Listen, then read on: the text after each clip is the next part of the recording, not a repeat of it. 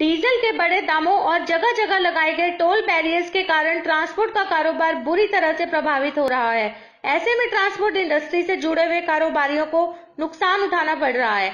इसी के चलते all India motor transport congress के आह्वान पर गत 20 जुलाई से चल रही ट्रांसपोर्टर्स की अनिश्चितकालीन हड़ताल आज पाँचवें दिन तक पहुँच गई है। ट्रांसपोर्ट और ट्रक यूनियन का आज जो पांचवा दिन है जिस तरह ए, कल एक मीटिंग हुई थी मीटिंग के दौरान ये फैसला लिया गया था कि कोई भी जो अ, ज- गाड़ी है वो अ, सड़क पे नहीं चलने दी जाएगी उसी दौरान आज जो आप देख सकते हैं कि मेरे पीछे किस तरह ट्रक यूनियन वाले सभी सड़कों पे उतर आए हैं और उन्होंने जो, जो भी यहाँ पे ट्रक निकल रहा है गुजर रहा है उसको रोक कर अ, उसके कागज़ लिए जा रहे हैं जी क्या कारण है जी आज क्या कहना चाहेंगे जिस तरह कल मीटिंग हुई थी मीटिंग के दौरान किस किस तरह के फैसले लिए गए ਇਸ ਤਰ੍ਹਾਂ ਹੈ ਅਸੀਂ ਅੱਜ ਸਾਡੀ ਜਿਹੜੀ ਸਟ੍ਰਾਈਕ ਆ ਪੰਜਵੇਂ ਦਿਨ 'ਚ ਚਲੀ ਗਈ ਹੈ ਸਰਕਾਰ ਨੇ ਕੋਈ ਵੀ ਸਾਨੂੰ ਹਾਲੇ ਤੱਕ ਕੋਈ ਗੱਲਬਾਤ ਦਾ ਸੱਦਾ ਨਹੀਂ ਭੇਜਿਆ।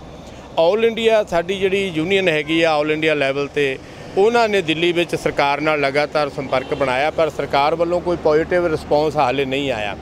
ਸੋ ਅਸੀਂ ਆਪਣੇ ਸੰਘਰਸ਼ ਨੂੰ ਹੋਰ ਤੇਜ਼ ਕਰਦੇ ਹੋਏ, ਅੱਜ ਅਸੀਂ ਸੜਕਾਂ ਤੇ ਉਤਰ ਕੇ, ਜਿਹੜੇ ਵਪਾਰੀਆਂ ਦੀਆਂ ਗੱਡੀਆਂ, ਉਹਨਾਂ ਨੂੰ ਵੀ ਰੋਕ ਰਹੇ ਹਾਂ। ਤੇ ਅਸੀਂ ਦੁੱਧ ਸਬਜ਼ੀ ਦੀਆਂ ਗੱਡੀਆਂ, ਸ਼ਾਮ ਤੋਂ 4 ਵਜੇ ਤੋਂ ਕੱਲ ਅਸੀਂ ਸਾਰੀ ਨਵੀਂ ਰਣਨੀਤੀ ਬਣਾ ਲਈ ਹੈ। ਤਾਂ ਜੋ ਜ਼ਰੂਰੀ ਵਸਤਾਂ ਨੂੰ ਵੀ ਰੋਕਿਆ ਜਾਵੇਗਾ, ਅਸੀਂ ਨਹੀਂ ਚਾਹੁੰਦੇ ਸਰਕਾਰ ਨੂੰ ਫਿਰ ਇੱਕ ਵਾਰੀ ਅਸੀਂ ਮੋਦੀ ਸਰਕਾਰ ਨੂੰ ਚੇਤਾਵਨੀ ਦਿੰਨੇ ਆ ਵੀ ਸਾਡੀਆਂ ਮੰਗਾਂ ਬਿਲਕੁਲ ਜਾਇਜ਼ ਨੇ। ਇੰਸ਼ੋਰੈਂਸ ਦੀ ਮੰਗ ਲੈ ਲਓ, ਡੀਜ਼ਲ ਦੀ ਲੈ ਲਓ, ਟੋਲ ਦੀ ਲੈ ਲਓ।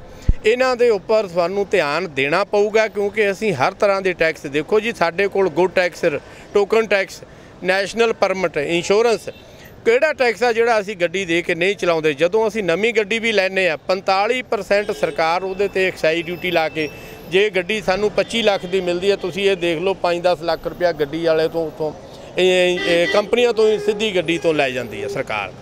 ਜੇ ਸਰਕਾਰ ਨੇ ਹੁਣ ਸਾਰਾ ਹੀ ਠੇਕਾ, ਸਾ- ਅਸੀਂ ਥੋੜੀ ਲੈ ਲਿਆ, ਸਾਰੇ ਮੁਲਕ ਦਾ ਇੰਸ਼ੋਰੈਂਸ ਕੰਪਨੀਆਂ ਕਾਰਪੋਰੇਟ ਸੈਕਟਰ ਵਿੱਚ ਜਾ ਕੇ ਪੁੱਠੇ ਸਿੱਧੇ ਕਲੇਮ ਪਾਸ ਕਰਦੀਆਂ।